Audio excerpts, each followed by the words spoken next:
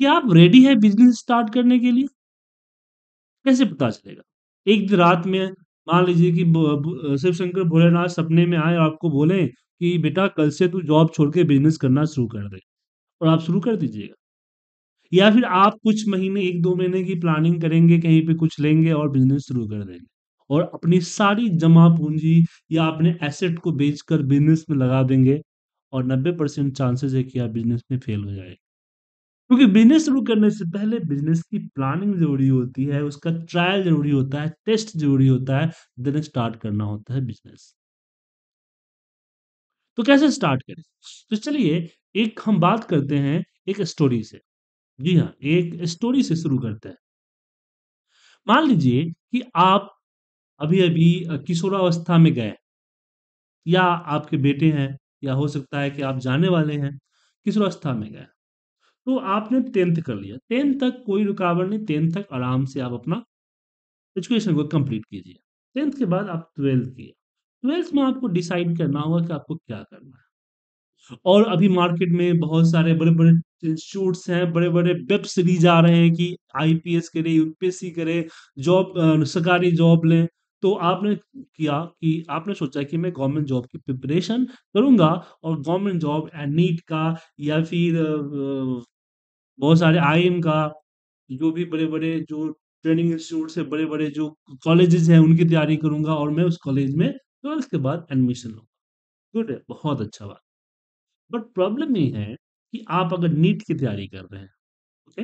अगर आप एम की तैयारी कर रहे हैं या आईआईटी की तैयारी कर रहे हैं, तो क्या लगता है कि कितना परसेंट स्टूडेंट्स पास होते हैं? हमें लगता है कि एक परसेंट भी, एक या दो परसेंट का आंकड़ा भी नहीं जितना एप्लीकेशंस आते हैं और जितनी पास होके एडमिशन लेते मतलब कि आपने अपने आप को प्रिपेयर कर लिया उस भीड़ का हिस्सा बनने के लिए, जहाँ पे एक छोटा-सा द्वार है लाखों का भीड़ है और कुछ बंदे ही उस गेट को लांग के अंदर जाते हैं। मैं आपको डिमोटिवेट नहीं कर रहा हूँ। आप तैयारी कीजिए, जी जान से तैयारी कीजिए। But what about the backup? कि अगर आपका एडमिशन नहीं हुआ, तो आपका बैकअप क्या है? क्योंकि आप जो एडमिशन लेने के लिए पढ़ने जा रहे हैं, वो पढ़ाई सिर्फ़ एडमिशन की एंट्रेंस तक ही काम आएगा। उसके बाद किसी कंपनी में जाकर आप बोलिए कि मेरी मैथ बहुत अच्छा है, मैंने मैथ में 95% नंबर लाया हो मुझे जॉब दे दें। तो बहुत सारे चांसेस है कि आपको जॉब नहीं मिलेगा, सिर्फ़ ट्रेनिंग इंस्टीट्यूट्स और जो ट्यूशन्स वगैरह है उनको छोड़ के, कोचिंग्स वगैरह उनको छोड़ के। क्योंकि कंपनीज़ आपकी मैथ का क्या करेंगी? कंपनी को चाहिए स्किल्स कि आप उस मैथ से कंपनी को क्या कमा के दोगे, ये स्किल्स होनी चाहिए। So think about the backup plan. तो मैं यहाँ पे बात करता हूँ कि आप गवर्नमेंट जॉब की तरफ़ नहीं जा रहे हैं और आप बैकअप प्लान की तरफ़ आते हैं। बैकअप प्लान में क्या करें? 12th 12th कीजिए, 12th करने के बाद 12th कीजिए, 12th करते समय शुरू कर दीजिए। 12th जब आप कर रहे हैं तो आपकी उम्र जो है तकरीबन 17 साल होगी। 17 साल से 19 साल के बीच में आपने क्या किया? अपना 12th किया, 12th में पढ़ाई की। लेकिन आप समझ सकते हैं कि स्कूलिंग और ट्यूशन करने के बाद भी आपके पास 2-3 घंटे या चार घंटे का टाइम बचता है जिसमें आप मस्ती करते हैं, वीडियो देखते हैं, मेरी वीडियो देखते हैं और बाकी चीज़ें करते हैं। वो 3-4 घंटे को यूज़ कीजिए मनी अर्न करने के लिए। मनी अर्न करने के बहुत सारे तरीके हो सकते हैं। घर पे बैठे आप कर सकते हैं, ऑनलाइन काम कर सकते हैं वर्क फ्रॉम होम कर सकते हैं या फिर आप सिस्टम से इतना जेनेटिक नहीं है, तो आप किसी ढाबा वगैरह में काम कर सकते हैं या फिर आपके पास अगर छोटा बैटरी वाली स्कूटी है, तो आप ओला में काम कर सकते हैं। ओला, रेपिडो जैसे में भी काम कर सकते हैं या पेपर सुबह-सुबह जाके पेपर दे सकते हैं, किसी दुकान में जाके काम कर सकते हैं, बाइंडिंग कर सकते हैं। मतलब कि आप ऐसे चीज़ को चूज़ करें जहाँ पे आपको कुछ पैसे भी आए और आपकी स्किल्स भी आए। जी हाँ, जैसे कि आपने एक रिपेयरिंग के लिए एक रिपेयरिंग मान लीजिए इलेक्ट्रॉनिक्स रिपेयरिंग की दुकान में आपने एज़ ए हेल्पर ज्वाइन कर लिया, तो दो चीज़ें होगी। आपको इलेक्ट्रॉनिक्स की नॉलेज हो जाएगी और दूसरा कुछ पैसे बच जाए मिल जाएँ। मान लीजिए कि आप डेली या महीने का 4000 रुपया या 3000 मान लीजिए 4000 तो बहुत ज़्यादा हो गया, 3000 आप छोटे-मोटे काम करके कमा लेते हो। तो आप क्या करोगे? ये तीन हज़ार रुपये से क्या करोगे? तीन हज़ार रुपये से आप जो है जूते खरीदोगे, जमा करके सेल फ़ोन खरीदोगे, मोबाइल रिचार्ज कराओगे, घूमने जाओगे जी नहीं ये नहीं करना है जी हाँ ये नहीं करना है आपको क्या करना है, कम से कम इन तीन हज़ार रुपए का में से फिफ्टी परसेंट जी हाँ क्योंकि आपकी खर्चे आपकी फैमिली उठा रही है तो फिफ्टी परसेंट मतलब कि पंद्रह सौ रुपये आपको म्यूचुअल फंड में इन्वेस्ट कर देना है टॉप फिफ्टी मिड कैप या स्मॉल कैप जैसे म्यूचुअल फंड में। तो आपने क्या किया कि ट्वेल्थ जी हाँ ट्वेल्थ से लेके ग्रेजुएशन जो कि फाइव साल फाइव ईयर है फाइव ईयर में आप पंद्रह सौ रुपये मंथली आप क्या कर रहे हैं इन्वेस्ट कर रहे हैं। सिंपल सी बात है। तो आपने इन्वेस्ट कितना किया? आपने लगाया सिक्सटी। तो नब्बे हज़ार रुपये आपने इन्वेस्ट किया। लेकिन एक कई गुना कम से कम अगर हम बात करें, अगर इसकी, अगर हम ये करते हैं, फॉर्मूला लगाते हैं किसका पीवी का, फ्यूचर वैल्यू का। और म्यूचुअल फंड जनरली 12 से 15 परसेंट का इंटरेस्ट दे देते हैं। तो 15 परसेंट मान के चलते हैं तो हम लेते हैं यहाँ पे rate 15 percent yearly divide by 12 और हमने एनपीआर ले लिया 90 ईयर्स 90 मंथ और हमने पीएमटी ले लिया 1500 तो दो लाख सैतालीस हज़ार का कैपिटल आपके पास रहेगा। अब ग्रेजुएशन जब आपने कर लिया, आप ग्रेजुएट ग्रेजुएट हो चुके हो ग्रेजुएट करने के साथ साथ आपके पास एक क्या है? कैपिटल है जो कि आपकी अपनी है, जिसको आपने ट्वेल्थ से लेके ग्रेजुएशन के बीच में अर्न किया है थ्री थाउज़ेंड मंथ के लिए। अब अब बोलेंगे सर मेरी फैमिली बहुत रिच है आ, मेरे पापा गवर्नमेंट एम्प्लॉय है हमारे पापा फलाना है मेरे पापा कितना बड़ा बिज़नेस है फिर मैं क्यों जॉब करूँ? क्यों अर्निंग करूँ? देखिए यहाँ से बात पैसे की नहीं हो रही है। यहाँ पे बात हो रही है कि जो थ्री थाउज़ेंड में जो आप पंद्रह सौ रुपये कमा रहे हो जो थ्री थाउज़ेंड कमा रहे हैं इसमें आपकी दो चीज़ें छुपी है। पहली कि आप जहाँ सीख रहे हो, जहाँ पे काम कर रहे हो, वहाँ पे आप स्किल्स सीख रहे हो। पहली चीज़ आप एक नई स्किल्स को सीख रहे हो। चाहे कहीं भी आप काम कर रहे हो। क्या सीख रहे हो? एक स्किल्स सीख रहे हो। स्किल्स के बाद आप जो है कहने का बोले, सर, मेरे पास खुद का खुद का है, उसी में चला जाऊँ? देखिए, चाणक्य ने कहा था कि गलतियाँ अपनी गलतियों से नहीं, दूसरे गलतियों से सीखना चाहिए। अगर आप अपने शॉप में या अपने पापा फैमिली बिज़नेस में आप जाते हैं तो प्रॉब्लम क्या होगी? वहाँ पर गलतियाँ करेंगे। गलतियाँ करने से क्या होगा? लॉस होगा। लॉस किसकी होगी? आपकी अपनी होगी। सो, मेरा सजेशन है, किसी और के यहाँ काम कीजिए, किसी और के यहाँ गलती कीजिए, किसी और के यहाँ लॉसेस कीजिए। और दूसरी चीज़ है कि अगर फैमिली से बाहर निकल करेंगे तो आप फैमिली की गाइडेंस से बाहर चले जाएँगे जहाँ पे डिसीज़न लेने के लिए आपका फ्रीडम रहेगा और आप अपने आप को और ज़्यादा तपा सकते हैं सोने की तरह। सो so, ग्रेजुएशन आपकी कंप्लीट हो चुकी है आपके पास असेट्स है। अब मैंने बोलूँगा कि तीन ये तीन लाख रुपए आपके पास पड़े हुए हैं अब तीन लाख रुपया लीजिए और तीन लाख रुपए को आप ये बिज़नेस में डाल दीजिए। ज़ाहिर सी बात है, तीन लाख से कोई बिज़नेस शुरू नहीं होगा। बड़े तीन लाख आपके पास शुरुआत करने के लिए है, लेकिन बिज़नेस शुरुआत करने के लिए मैं नहीं बोलूँगा। अभी भी नहीं बोलूँगा। और आपको ढूंढनी है कोई जॉब प्राइवेट जॉब ही कोई ढूंढनी है। तो ग्रेजुएशन है आपके पास स्किल्स है क्योंकि आपने पाँच साल जिस सेक्टर में काम किया था, उसी सेक्टर का पाँच साल का आपके पास एक्सपीरियंस हो चुका है, उसी सेक्टर पे जॉब जैसे इलेक्ट्रॉनिक दुकान में काम थे तो किसी इलेक्ट्रॉनिक सर्विस सेंटर में चले जाए हो सकता है तो कुछ ग्रेजुएशन के बाद आप जो है डेढ़ दो साल का डिप्लोमा कर लें उसी सेक्टर में, जिस सेक्टर में आप जा रहे हैं। क्योंकि आपने जो पाँच साल जहाँ काम किया, आपने चॉइसेस अपने इंटरेस्ट के हिसाब से काम किया तो आपके पास एक अच्छा खासा आ चुका है एक्सपीरियंस, इंटरेस्ट। तो डिप्लोमा वगैरह कर लीजिए और करने के बाद आप उसी सेक्टर की कंपनी में काम कीजिए। जैसे आपने आईटीआई कर लिया, जो कि दो साल का होता है दो साल का आईटीआई कर लिया जॉब करते हैं, दो साल के आईटीआई कर लिया इसी सेक्टर में, जिस सेक्टर में आप जॉब कर रहे हैं। तो आपके पास क्या हो गया? ग्रेजुएशन प्लस आपके पास आईटीआई की डिग्री मतलब की टेक्निकल डिग्री भी हो गई टेक्निकल नॉलेज भी हो गया और टेक्निकल नॉलेज के ऊपर आपकी क्या हो गया? एक्सपीरियंस भी होगा ध्यान रखिएगा, जिस सेक्टर में आप जॉब कर रहे हैं, उसी सेक्टर की आईटीआई डिग्री लीजिएगा। ध्यान रखिएगा। अगर नहीं है तो सेक्टर चेंज कीजिए। आपके आसपास लोकल में जॉब मिल जाए, जैसे आप आप डीजल मैकेनिकल करना चाहते हैं या आप इलेक्ट्रॉनिक्स करना चाहते हैं, हर रिलेटेड छोटे बड़े दुकान आपको मिल जाएँगे सर्विस सेंटर फैक्ट्री वगैरह मिल जाएँगे, वहाँ आप काम कर सकते हैं। और उसी टेक्निकल स्किल्स आप सिस्टम में है तो कंप्यूटर में है तो कंप्यूटर से आईटीआई कीजिए सॉफ्टवेयर डिज़ाइनिंग है वेबसाइट डिज़ाइनिंग है, जो भी आपने किया है, उसी से रिलेटेड आपको यहाँ पे या तो वर्क फ्रॉम होम करना है या फिर आपको किसी के यहाँ और उसी से रिलेटेड आपको यहाँ पे आईटीआई करना है। नहीं सरकारी मिलना है, किसी और कॉलेज में, छोटे कॉलेज में कर लीजिए, क्योंकि आपको सिर्फ़ डिग्री से मतलब है, न कि बड़े कॉलेज का ठप्पा से। बड़े कॉलेज का ठप्पा आपको जॉब नहीं दिलाता है, आपकी स्किल्स आपको जॉब दिलाता और आपका एम जॉब करने का है ही नहीं। जॉब को आप जस्ट अपने बिज़नेस की, अपने स्टार्टअप की सीढ़ी की तरह यूज़ करने वाले हैं। तो दो साल आपने किया, अब जब दो साल करने के बाद आप जो है यहाँ पे पंद्रह सौ की जगह, ये आप जो है दो साल लेते हैं तो इसमें हमारा चौबीस महीने। तो ten ten ten, one one forty. तो यहाँ पे आपको तीन लाख चौहत्तर हज़ार का गेन कैपिटल गेन हो रहा है। अब यहाँ पे हम आगे बढ़ते हैं। अब आपको करनी है कम से कम तीन से पाँच साल की जॉब। जी हाँ तीन साल से पाँच साल की जॉब आपको करनी है। और एवरेज सैलरी मान लीजिए कि आपकी सैलरी ट्वेंटी फाइव थाउज़ेंड तो होगी अब यहाँ पे एक छोटी सी दिक्कत आ गई, क्योंकि अभी आप 50 परसेंट पैसा जमा कर रहे हैं 50 पैसा पैसा आप इधर उधर अपना खर्चा कर रहे हैं। लेकिन जैसे ही आप जॉब पकड़ेंगे, आपकी फैमिली आपको खर्चा देने से मना कर देगी। बिल्कुल, खर्चा देने से क्या करेगी? मना कर देगी।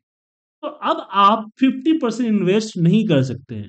तो आप कोशिश करें कम से कम 30 परसेंट अपनी सैलरी का मंथली आप इन्वेस्ट कर दें। जी हाँ किसमें म्यूचुअल फंड में मतलब कि सेवेंटी फाइव हंड्रेड पाँच साल तक आप जो है उसको करें। तब तक सैलरी भी आपके हर महीने बढ़ेगी। देखिए हम मान के चलते हैं कि पचहत्तर सौ रुपया कम से कम से कम आप हर महीने इन्वेस्ट कर रहे हैं। और इन्वेस्ट के साथ साथ आप जो है, आपकी यहाँ पे देखिए दो चीज़ हो रही है। एक, आपका नॉलेज आपका एक्सपीरियंस भी साइड में गेन हो रहा है और साइड में बिज़नेस के लिए आपका कैपिटल भी गेन हो रहा है। और आपकी एजुकेशन भी साथ साथ चल रही है। मतलब कि आपका सोशल सोशल मतलब कि समाज के अंदर जो प्रतिष्ठा है, वो भी आपकी बढ़ रही है। फैमिली के अंदर भी आपकी प्रतिष्ठा बढ़ रही है और आप अपने आप को डिपेंड भी कर रहे हैं और अपने आप को नॉलेजेबल भी कर रहे हैं। तीनों साथ साथ आपका चल रहा है। तो पाँच साल कम से कम जॉब कीजिए। पाँच साल जॉब करने के बाद आप जो है आप अगर पाँच साल अगर यहाँ पे अगर मैं वापस एफबी का फॉर्मा लगाऊँ तो ए आ, हमारा हो जाता है पंद्रह परसेंट लेके चलते हैं। पंद्रह percent divide by twelve NPR हमारा हो जाता है सिक्सटी और पीएमटी हमारा फिफ्टी सेवेंटी फाइव हो जाता है। तो ये छह लाख चौसठ हज़ार रुपया यहाँ पे आपके पास है। और साथ में अगर मान लीजिए इसको छोड़ दिया आपने तो इसका भी पंद्रह परसेंट ईयरली आए। इसको भी हम कर देते हैं इक्वल पीवी और इसको हम रेट लेते हैं पंद्रह परसेंट ईयरली और यहाँ हम एनपीआर पंद्रह percent year divide by twelve और एनपीआर मान लीजिए साठ सिक्सटी और पीएमटी नहीं है पीवी प्रेजेंट वैल्यू क्योंकि इसको तो बंद कर दिया ना आपने से डालना एंटर मारिए। तो सात लाख नवासी हज़ार रुपया वो आपका बन चुका है, छह लाख आपका ए बन चुका है। मतलब कि आपके पास चौदह पंद्रह लाख रुपए की कैपिटल हो चुका है। बारह लाख रुपए की कैपिटल हो चुका है पाँच साल बाद। तो आपको क्या करना है? तो आपको सोचना है बिज़नेस करने का। क्यों? क्योंकि आपके पास आपका आपका क्वालिफिकेशन ग्रेजुएट के बाद अगर मान लें पीजी वगैरह करना चाहते हैं तो तीन से पाँच साल में आप ओपन से कर सकते हैं, कोई दिक्कत नहीं है। और आपके पास क्या है? आपके पास एक्सपीरियंस है, चीज़ों की समझ है मार्केट की समझ है और हर एक चीज़ को समझते हैं क्योंकि उससे रिलेटेड आपने उस पर जॉब कर रखे हैं। करीब अच्छा खासा आपका जो है दस साल के आसपास का एक्सपीरियंस हो चुका है। Now you can start the job start the business लेकिन क्या है कि 12 लाख रुपए जो आपने जमा किए हैं, आप अपनी मेहनत की कमाई और बहुत लंबे टाइम से जमा किए हुए हैं। आप इसको लीजिएगा, लेके बिज़नेस से बैठ जाइएगा। तो चांसेस यहाँ पे होता है कि 30 40 परसेंट ही आपका चांस होता है कि आपका बिज़नेस सक्सेस होगा। आपका 60 70 परसेंट चांस होगा कि आपका बिज़नेस डूब जाए। और आप बिज़नेस के साथ साथ डूबेगा आपका कैपिटल डूबेगा आपका आत्मसम्मान, डूबेगा आपका कॉन्फिडेंस जी हाँ। आपका कॉन्फिडेंस डूब जाएगा। उसके बाद दोबारा बिज़नेस करने के लिए ना आपका मन करेगा, ना आपकी फैमिली अलाउ करेगी। सीधे बोलेगा, चुपचाप जब पच्चीस हज़ार जॉब कर रहा है जॉब करो। पच्चीस से तीस, पैंतीस, चालीस हज़ार तक जाएगा, पचास हज़ार जाएगा, पचपन हज़ार जाएगा, इसी को जॉब करो और इसी में तुम रहो। इसलिए आप अपनी कैपिटल को लगा के तुरंत जॉब शुरू करना नहीं करेंगे। आप स्टार्ट करेंगे छोटे स्तर पे। जैसे कि आपने एक प्रोडक्ट सोचा कि भाई, मैं इलेक्ट्रॉनिक्स में हूँ तो मैं एक पंखे का प्रोडक्ट एक फ़ैन का प्रोडक्ट मैं शुरू कर रहा हूँ। मैं एक फ़ैन बना के बेचूँगा। ठीक है? आपने फ़ैन बना के बेचना किया आपने एक फ़ैन का प्रोटोटाइप तैयार किया डिज़ाइन तैयार किया। ठीक अब आपको, आप इसको स्मॉल स्केल्स पे चलाना है। मतलब कि आप जो है इसका प्रोडक्शन अपने गैरेज के अंदर में, अपने बैकयार्ड के अंदर में या अपने कबाड़ खाने के अंदर में शुरू करेंगे। जी हाँ। एक दो एम्प्लॉय के साथ, या मैं तो बोलूँगा कि एम्प्लॉय फ़िलहाल रखे ही नहीं। आप खुद अपने ऑफ़िस के बाद टाइम निकाल के पंखे को बनाए, क्योंकि आप मान लीजिए इलेक्ट्रॉनिक्स से हैं इलेक्ट्रिकल से हैं इलेक्ट्रिक्स पे आपने लंबे टाइम से काम किया है तो पंखों को बनाना वगैरह सब कुछ आता है। आप कबाड़ से उठाएँगे कबाड़ से पंखे का बॉडी उठाएँगे, पत्ती उठाएँगे और सबको असेंबल करके और अच्छा करके आप बेचेंगे आप सिर्फ़ प्रोडक्ट की वेल्थ पे ध्यान देंगे आपका प्रोडक्ट धांसू होना चाहिए और प्रॉफिट बहुत ही कम। जी हाँ चिल्लर के भाव में प्रॉफिट होना चाहिए शुरुआत में। और आप पंखा बनाएँगे और पंखे आप बनाने के बाद जो है ऑफ़िस सुबह जाते समय ऑफ़िस सुबह आते समय दुकान से विज़िट करेंगे, दुकान वाले को पंखे दिखाएँगे और उस पंखे को बेचने का कोशिश करेंगे। तो मान लीजिए कि आप जो है डेली, आप डेली पंखा तो डेली नहीं बेच पाइएगा आप, लेकिन हाँ डेली मान लीजिए मान लीजिए कि महीने में आप तीस तीस नहीं, मान लीजिए कि बीस पंखा ही बेच देते हैं, ठीक है? तो साल का कितना आप, बीस पंखा, बीस कस्टमर को बेचना है। तो साल में आपने बेचा तीन सौ चालीस। और आप इसको कंटिन्यू चलाइए पाँच साल तक। तो पाँच साल तक चौदह हज़ार चार सौ कस्टमर्स जो आपके पंखे को यूज़ कर चुके हैं, आपके पास रहे।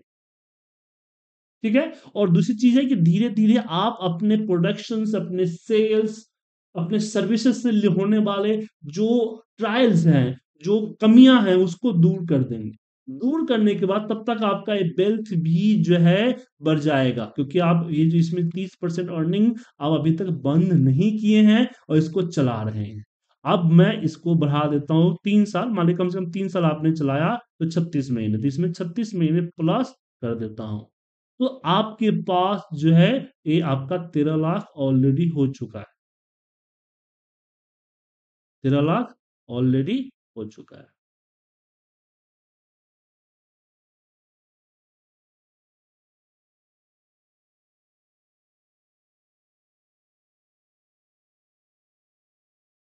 तो आपके पास टोटल 21 लाख का पैकेज है। आपके पास अगर इक्कीस लाख है और आपकी बिज़नेस चल रही है और आपकी फैमिली इसको देख रही है कि बंदा होनहार है, बंदे के पास एक्सपीरियंस हो गया वेल्थ हो गया और बिज़नेस दम पे खड़ा कर रखा है तो आपके पापा अपनी जमा पूंजी निकाल के आपको दे सकते हैं, कोई प्रॉपर्टीज़ को गिरवी करके दे सकते हैं बैंक आपको लोन दे सकता है, क्योंकि आप ऑलरेडी इक्कीस लाख रुपए होल्ड कर रहे हैं, और इक्कीस लाख आपके पास वेल्थ है, आप यहाँ पर स्टार्टअप कर चुके हैं, आपके पास एक ब्रांड है, आपके पास एक कस्टमर है।